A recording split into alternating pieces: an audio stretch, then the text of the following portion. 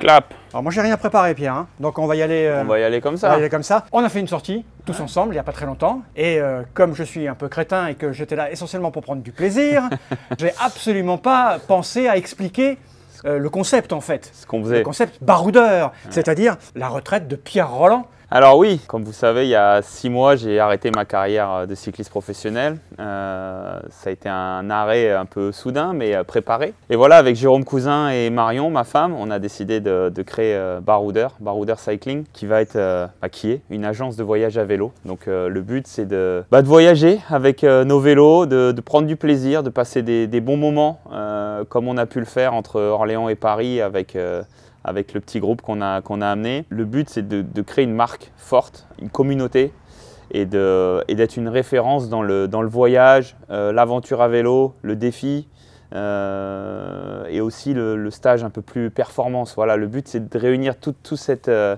tous ces aspects-là du vélo.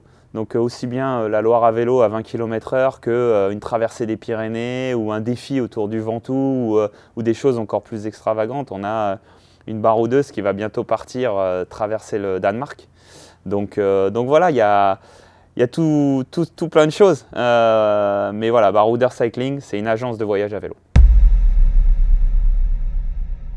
Le ride qu'on a fait entre Orléans et Paris, s'adresse à des, gens qui font du vélo, au moins 2, 3, 4 fois par semaine, ou des gens qui ont l'habitude de, de pratiquer du vélo longtemps, parce qu'on a quand même roulé près de 10 heures, même si on a pris notre temps, euh, qu'on s'est arrêté pour regarder des, endroits où on avait envie de, voilà, un petit château, une petite rivière, un petit, un petit truc, ou des fois juste s'arrêter pour discuter. c'est vrai que c'est, c'est, euh, assez simple, mais euh, enfin, c'est des moments simples, mais qui sont très importants, surtout dans la vie d'aujourd'hui où on échange que par message, que par WhatsApp, que par tout ça. Là, on a passé 10 heures. Alors oui, on a pris le téléphone pour faire quelques vidéos, quelques photos, parce que bah, voilà, on a envie de le partager, ce qu'on, vit. Mais, euh, mais on, a, on a passé des moments à échanger avec tout le monde, à discuter, à, parler de choses simples, de choses plus poussées. Et, euh, et voilà, mais, mais le, le- le groupe, pour faire 200 km, voilà, c'est forcément des gens qui font un petit peu de vélo. Après, cette trace, on peut la faire en deux jours, on peut la faire en trois jours. Il n'y a, y a rien, mais il y a rien. En fait, n'y a que notre euh, imagination qui peut nous donner une limite. Mais, euh, mais moi, mon imagination, il- ça va loin. Et, du coup, euh, bah, sur un vélo, on peut faire tout un tas de choses. On peut, rouler vite, on peut prendre son temps, on peut visiter des châteaux, on peut visiter des, endroits magnifiques. Et, avec le gravel, c'est encore différent parce que le gravel, on peut aller un petit peu plus loin, on peut aller là où la route s'arrête, on peut on continuer. Et, voilà, c'est encore un autre état d'esprit. Mais, mais, mais ça s'adressera à tout le monde et ce sera bien stipulé dans l'offre, débutant, confirmé, expert, et on expliquera bien euh, quelle catégorie pour vraiment que les gens aillent au bon endroit. C'est un défi qu'elle s'est lancé elle-même. Euh, elle s'est lancé un défi de voilà, c'était un défi personnel parce que elle a été, c'est une ancienne joueuse euh, de foot professionnelle et elle a, joué euh, au Danemark et elle veut, elle veut aller d'un club à un autre. Enfin, voilà. Et puis derrière, il y a, y a une opération euh, caritative. Il y a un but euh, humanitaire derrière. C'est un objectif personnel. Elle va le faire avec une copine. Ils vont le faire en autonomie. Nous, on l'a aidé. On l'a aidé dans, dans le matériel, dans l'assistance, dans, dans, dans comment tracer son parcours, comment s'organiser, les, bagages, la bagagerie, etc. Donc, euh, donc voilà, mais c'est son défi à elle. Nous, on, on l'accompagne. Mais, mais l'idée, c'est que si des gens ont une idée de défi, euh, un, peu, loufoque, un peu, folle, ou qu'eux ne se sentent pas capables de l'organiser, nous, on sera en mesure de l'organiser. Euh, on sera en mesure de, gérer la logistique, de, s'assurer que la trace est bonne, de s'assurer que, euh, les, étapes sont cohérentes, pas que ce soit trop long ou pas assez long pour que le séjour soit adapté. Donc voilà, il y a, tout, ça, et ça, c'est notre expérience à nous. On, a des, gens qui nous ont demandé une traversée des Pyrénées, ils nous, ont dit, on veut traverser les Pyrénées en 4 jours en montant tous les grands cols. On leur a dit, bon, ça, moi, quand j'étais professionnel, 4 jours, je le fais. On va, on va la faire en 6, quoi. on va s'adapter. C'est juste euh, bah, cadrer, staffer et, organiser euh, des aventures. Et puis après, c'est aussi euh, bah, de la présence sur le terrain, parce qu'on a envie d'être présent. Quand les gens auront envie que de rouler avec Jérôme Cousin et, Pierre Roland, bah, on pourra le faire, on pourra l'organiser. Et voilà, notre slogan, c'est euh, grimper avec Pierre Roland, échappez-vous avec Jérôme Cousin. Et, et je pense que c'est euh, moi personnellement, j'aurais toujours aimé jouer au foot avec Zidane ou échanger une balle de tennis avec Nadal. et là, je me dis que bah oui, on est, on est juste des petits coureurs du Tour de France. Bon, à nous deux, on a fait plus de 20 Tours de France, mais, mais, mais on se dit que bah oui, on a envie de rouler avec des gens, on a envie de faire partager notre expérience et passer des, de, vrais moments, euh, bah, euh, tout simplement d'échange. La raison pour laquelle on a créé cette euh, agence de voyage à vélo, c'est que déjà on est des passionnés, des, purs passionnés de vélo et de, et de ce côté humain que le vélo apporte. Parce que le, le, vélo, c'est le sport le plus accessible pour le public, où il y a une proximité directe avec le public et les supporters. Sur les courses, donc sur les grosses courses, c'est un petit peu plus, il y a des sas, c'est un peu différent, notamment sur le tour. Après, il y a tous les critériums, tout ça. Et, après, durant notre carrière, on a emmagasiné énormément de frustration. Euh, moi, j'ai couru euh, comme Jérôme sur euh, tous les continents du monde. J'ai couru partout. Et au final, j'ai envie de dire que oui, j'ai voyagé pour faire du vélo, pour faire des compétitions, mais j'ai surtout voyagé entre gare, aéroport et hall d'hôtel. Et, c'est vrai qu'on a accumulé énormément de frustration d'être passé à côté de culture, à côté de gastronomie, à côté de, moments euh, d'échange. Quand on se balade à vélo et qu'on s'arrête, partout où on s'arrête, on suscite la curiosité. D'où vous venez, où vous allez. Et en fait, il y, a un échange qui se crée automatiquement. C'est bizarre, mais euh, tu es en voiture, tu t'arrêtes à une boulangerie, personne ne va te demander d'où tu viens et où tu vas. Et quand tu es à vélo, c'est vrai que tu suscites tout ça. Il y a, un échange qui est presque instantané de, curiosité et, de, respect parce que tu dis, bah, on arrive de là, on va là. Oh, oh chapeau. Et puis tout de suite, il y a un échange. Et, voilà, c'est toutes ces raisons-là euh, qui nous donnent envie de, créer, euh, bah, qui, nous qui nous ont donné envie de créer cette agence de voyage. Et, le mot agence de voyage, il est, il est fort parce que. Euh, on n'a pas de limite. On n'a pas de limite. On peut aller partout dans le monde et avec nos vélos quoi. Et, on a l'expérience de, bah, de comment prendre un avion avec un vélo, comment prendre un TGV avec un vélo, etc. Euh, et on a, on a, il n'y a aucun défi qui nous fait peur. Si on nous dit d'aller faire du vélo dans n'importe quel pays, je pense qu'on est capable de le faire.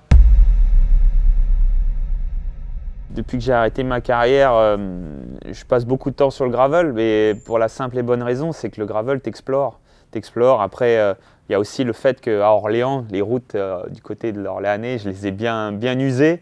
Et, euh, je pense que, que la voirie préfère que j'aille dans les chemins. J'ai usé trop les routes. Non, je rigole.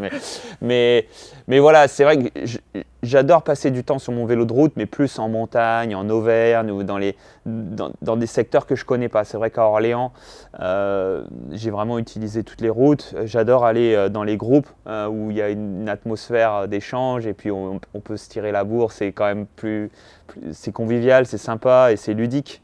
mais le gravel, c'est vrai que selon la saison, on a beau prendre les mêmes chemins selon automne, hiver, l'été, etc. Euh, tout change. Et le printemps, j'en parle même pas. Le printemps, en, dix 10 jours de temps, les, chemins évoluent.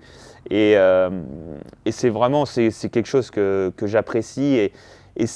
Euh, c'est presque un autre sport.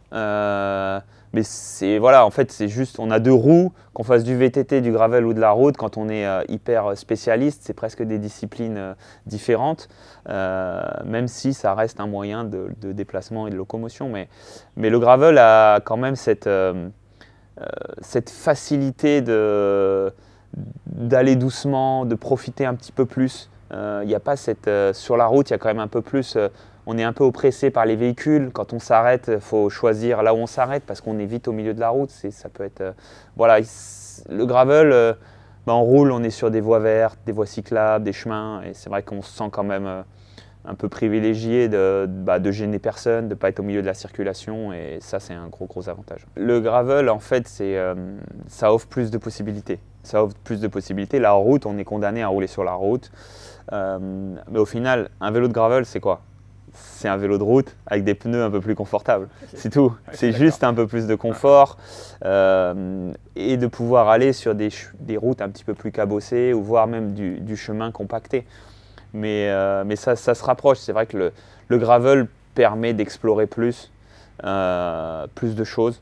La route permet d'aller un petit peu plus vite. Et c'est vrai qu'école, c'est mieux sur la route. L'école, c'est mieux sur la route. C'est sûr que faire une traversée des Pyrénées en gravel, bon, déjà à tracer, ça doit être quelque chose. Et à faire, voilà, on risque de pousser un petit peu le vélo. J'ai fait le Galibier en gravel. Je peux dire que les 2000 mètres de dénivelé en 55 km, ça fait mal à la Ah oui, mais c'est c'est pour moi la, la montagne, c'est euh, la, montagne comme, euh, comme je l'entends, quoi, les, les, grands cols, tout ça, ça doit se grimper sur un vélo de route quand même. Si on veut couvrir un petit peu de territoire, euh, si on veut monter plusieurs cols dans la journée, le vélo de route, c'est adapté.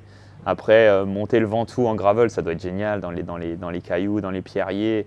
je pense que chaque, chaque région a, voilà, il y a des régions où ça va être le VTT, il y a des régions où ça va être le gravel.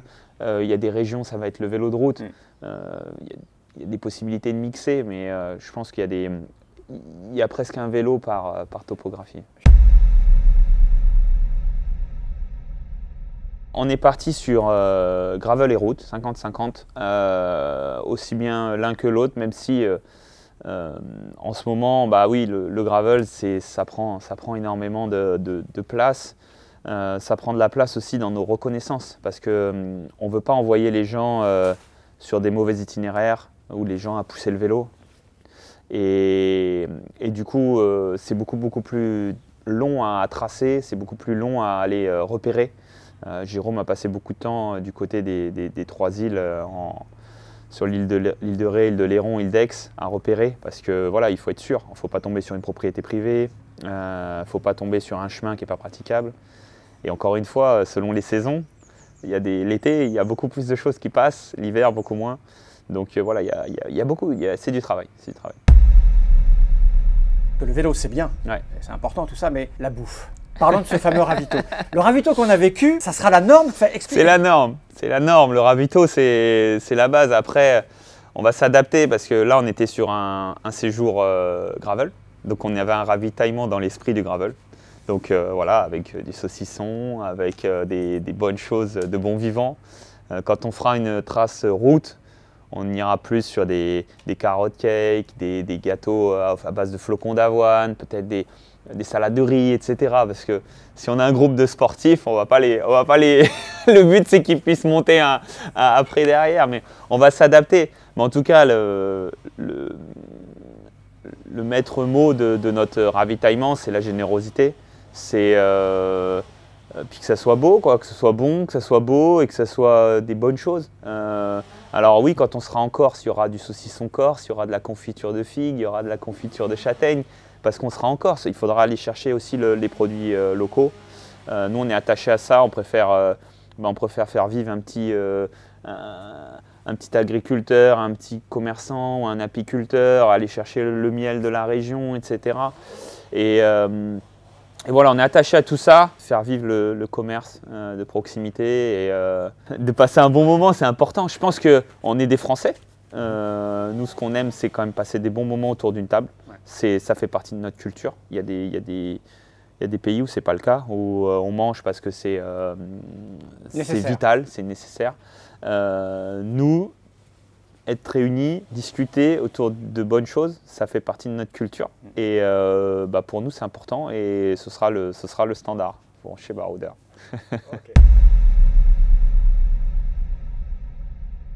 Les tarifs, le, site internet va bientôt, euh, sortir. On, travaille sur les, sur les tarifs pour proposer une offre euh, en adéquation avec ce qu'on fait. C'est compliqué, c'est très compliqué de, trouver le, le, juste prix entre guillemets entre euh, toutes les prestations qu'on met en place euh, et euh, de rester cohérent et de rester attractif.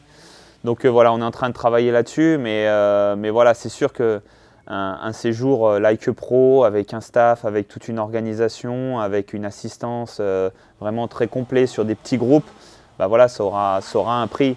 et après, il y aura aussi des séjours en autonomie, il y aura des journées euh, comme, euh, on a pu le faire entre Orléans et Paris, où on proposera notre présence sur une journée, où on, staffera la journée et on sera présent sur le vélo et on organisera euh, les traces, on, gérera les parcours, etc. Donc voilà, ce sera une offre qui sera multiple, assez large au début, et peut-être qu'après on, on, réduira l'offre pour, pour tomber sur ce que les gens attendent vraiment. C'est pas très grave, c'est pas très grave. Euh, bah écoute, je crois qu'on a fait le tour. En tout cas, moi, ce que je sais, c'est que cette première expérience a été super. Ouais. Ça correspond exactement à l'état d'esprit que moi j'ai quand je fais du vélo. Ouais. Pas de pression. euh, Non, pas de que- vitesse. Ouais, pas, pas- pas de vitesse. Et encore, euh, même si vous êtes fort, il y a une espèce de pression quand t'es pas le plus fort du groupe. Oui, oui. Là, tu la sens pas en fait. Tu vois ce que je veux dire Non, l'é- l'état, d'esprit qu'on, l'état d'esprit qu'on a, c'est nous, on a fait de la compétition toute notre vie. On a envie de prendre un petit peu notre temps. Ouais. On a envie de prendre notre temps. Et si on a un groupe qui veut euh, am- s'amuser, on, on- on saura faire aussi. A vu. On a vu. on saura faire parce que on a quelques restes quand même et, on roule et on roule, on roule beaucoup. Mais on aime prendre notre temps. Et euh, nous, ce qui est vraiment important, et je pense c'est là où, on veut insister, c'est euh, on veut passer des bons moments. On veut passer des bons moments, échanger, convivial. Euh, on est ouvert d'esprit, euh, on, discute facilement de, tout, on peut discuter de tout, on est des gens ouverts. Et, Jérôme, quand il est sur le terrain, moi, pour moi, c'est, la, la pierre angulaire du, du séjour. Au final, c'est pas moi. C'est vrai que j'ai découvert Jérôme moi sur deux sorties. Et c'est vrai qu'il est assez intéressant comme garçon. Il est impressionnant physiquement. Ah bah, il a un physique, euh, il a, il a, oui, euh, il a un physique assez impressionnant. D'ailleurs, il est arrivé dans le groupe de tête sur la Naturist Bike avec euh, très peu d'entraînement, euh, parce que voilà, entre, il passe son diplôme d'encadrant, donc pour encadrer les, les- séjours, il faut quelqu'un de diplômé. Donc, il est en train de passer son diplôme, il est en train de beaucoup travailler sur, sur l'agence, sur les sur les prix, sur les traces, sur, euh, bah, sur le site web, sur tout plein de choses. Il passe, euh, il passe 7h du matin à 20h le soir dessus, donc euh, il a peu de temps pour faire un peu de vélo. Et, et c'est vrai que malgré le peu d'entraînement, quand il monte dessus, au fur et à Ouais. mesure des kilomètres, bah, on voit que ça s'améliore, ça Ah s'améliore. Tout le monde est en train de sombrer, puis lui, bah, c'est de plus en plus facile. Donc euh, voilà, ça, ça s'appelle la classe. Ah. C'est un, c'est- c'est un garçon C'est le talent, c'est le talent. Mais, mais voilà, c'est vrai que quand, euh, quand on est avec un groupe, on passe toujours de bons moments et ça, c'est quelque chose de très important pour nous. Je confirme, c'était un bon moment. Merci Pierre. De rien, merci à vous. Top. Donc je vais couper. Hop, c'est fait. On va couper ici.